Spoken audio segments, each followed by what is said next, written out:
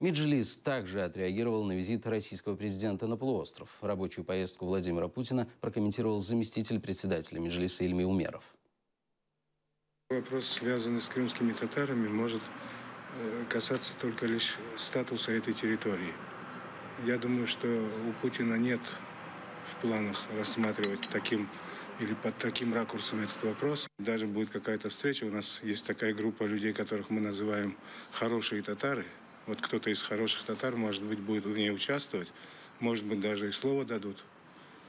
Но это не будут представители крымских татар.